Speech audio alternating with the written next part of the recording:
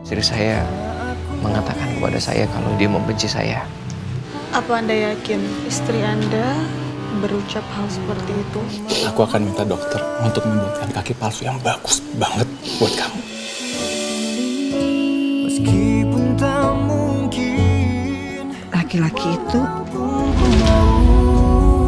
Pantesan ya kamu gak datang mediasi kita.